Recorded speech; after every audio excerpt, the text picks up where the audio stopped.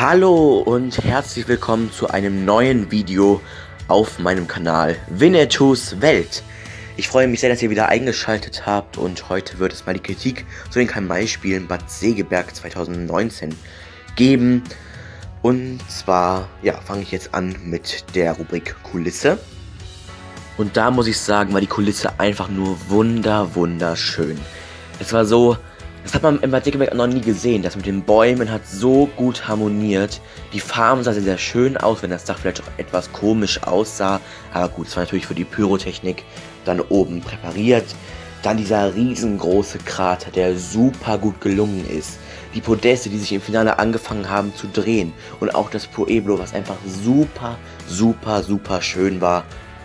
Ich finde es einfach nur mega genial und auch die Brücke hat mir sehr, sehr gut gefallen. Ich bin auch schon sehr gespannt, wie die Kulisse in diesem Jahr bei den Kalmai-Spielen aussehen wird. Es wurde schon sehr viel angedeutet mit zwei Ölfeldern oder Öltürmen besser gesagt, Eisenbahn und was weiß ich alles. Ich bin auf jeden Fall sehr, sehr gespannt und schreibt mir doch gerne mal eure Meinung dazu in die Kommentare, wie ihr die Kulisse vom letzten Jahr fandet. Würde mich wirklich sehr, sehr freuen.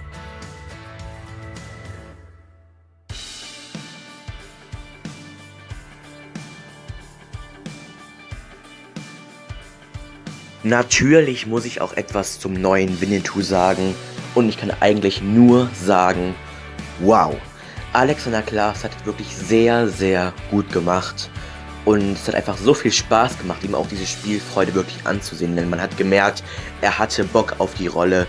Und es hat mir einfach super gut gefallen. Er war wirklich sehr kriegerisch, aber ich finde, das passt auch irgendwie so zu ihm. Er kannte jetzt noch nicht so den Weisen spielen. Da hat Jan Sosniok auch vom Alter her einfach besser gepasst. Und das fand ich wirklich sehr, sehr, sehr, sehr gut, was Alexander Klavs da gemacht hat. Wirklich sehr, sehr gute Kämpfe gehabt, gute Textpassagen und ähm, hat teilweise den schweren Mokassin wirklich die Leviten gelesen. Das fand ich wirklich sehr, sehr gut, wer die Rolle verkörpert hat. Und freue mich, dass er in diesem Jahr auch wieder dabei ist.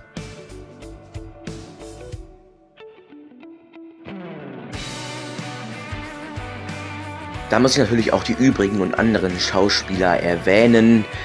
Ähm, zum Beispiel haben wir Nikolas König als schweren Mokassin. Wir wissen alle, er kann einfach sehr gut die bösen Indianer spielen. Da brauchte er uns nicht zu beweisen, das wussten wir, dass er sehr, sehr gut war. Und hat er auch wirklich sehr, sehr gut gemacht, den Bösen sehr, sehr gut rübergebracht. Und ja, sehr schade, dass er in diesem Jahr nicht dabei ist.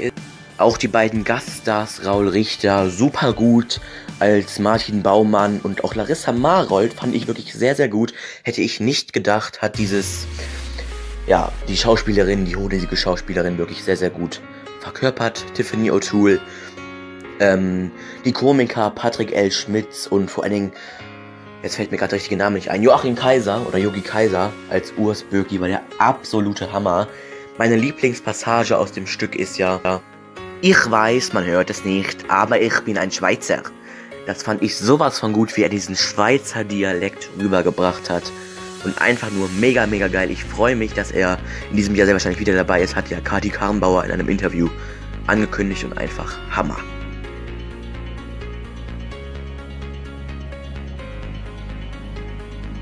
Und auch die Kämpfe fand ich wirklich sehr, sehr gut inszeniert. Ich lasse jetzt gleich mal im Anschluss ein paar Bilder durchlaufen. Das war wirklich sehr, sehr schön anzusehen. Alexander Klaas hat super gut gekämpft und das hat ihm, ihm wirklich gelegen mit dem Kriegerischen. Manche Standorte sind ja wirklich durch die Luft geflogen, wo ich einfach nur dachte, wow. Mehr kann ich dazu nicht sagen. Die Kämpfe waren einfach unfassbar gut.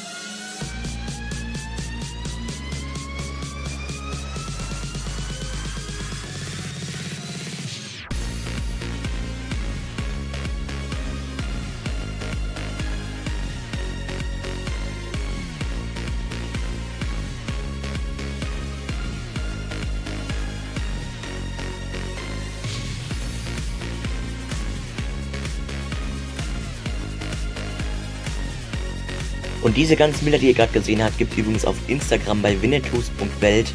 Das habe ich alles selber gemacht dieses Jahr, äh, letztes Jahr. Und ich würde mich freuen, wenn ihr da mal vorbeischaut.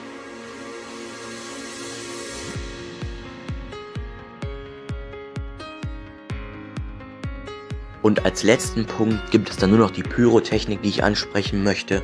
Und auch da kann ich nur sagen, Wow!